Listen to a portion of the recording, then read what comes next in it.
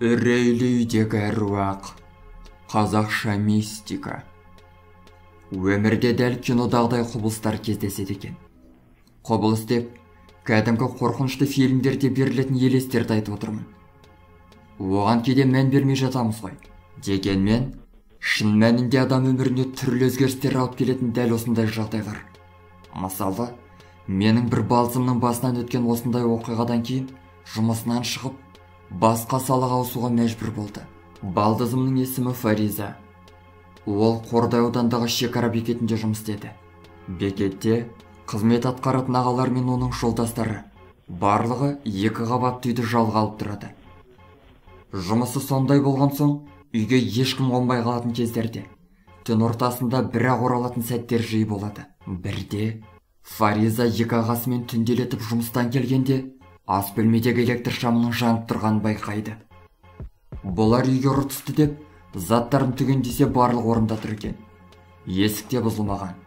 Сосын олар оған еш мән бермей ұйықтап қалады.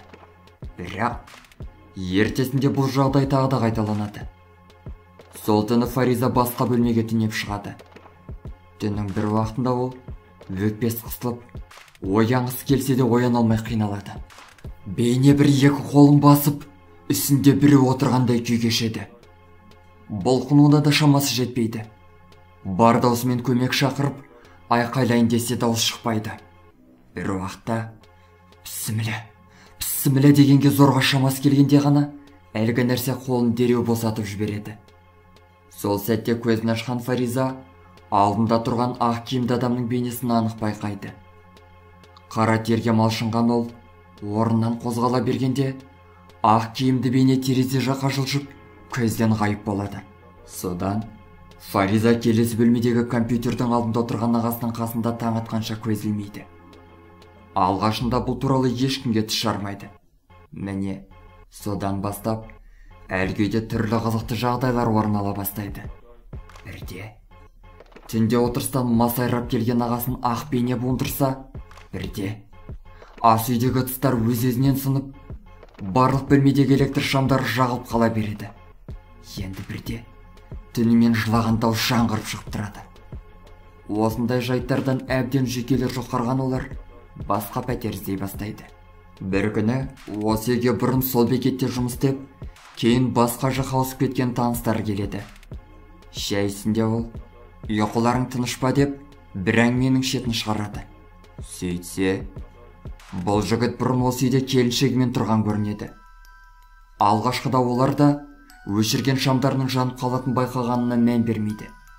Бір күні үйіне жолдастарын қонаққа шақырып отырыс көңілдетіп жатады. Біраз уақыттан кейін қонақ қыздың бірі екі қабатты үйдің ішін қызықтап жоғары көтеріліп кетеді.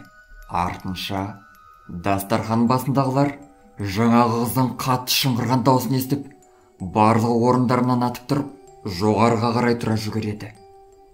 Иесі бәрінен бұрын жетіп барса бойжеткеннің екінші қабатқа көтерілетін баспалдақтың бұрышында екі қолмен бетін жауып бүктеліп отырғанын байқайды. Не болғанын сұраса ол үндемей жоғары жақты көрсетіп басын шайқай беріпті нұсқаған жаққа қараса баспалдақтың ең жоғарғы сатысында әппақ киімді. Он екі он үш жасар қыз кітап оқып отыр екен. Сасып қалған ол екі көзін тарс жұмып біраз тұрып ашып қалады. Тілін калимаға келтіріп көзін қайта ашса әлгі елес қыз жоқ болып кетеді. Содан кейін олар басқа пәтер тауып сол үйден көшіп кеткен екен.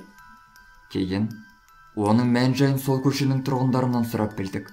Біз тұрған коттедждің орнында бұрын болған үй өрт құшағында қалып апат кезінде ұйықтап жатқан 12-13 жасар қыз тірідей жанып кетіпті. Кейін орнына осы коттедж салынған.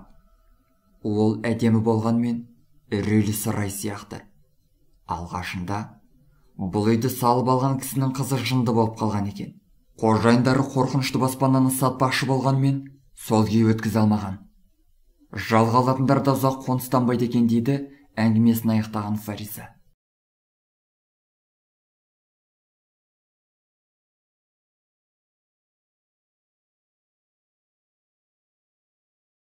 Достар біздің каналға жазылып лайк басуды ұмытпаңыздар. Келесі шығарылымдар тек қана сіздер үшін.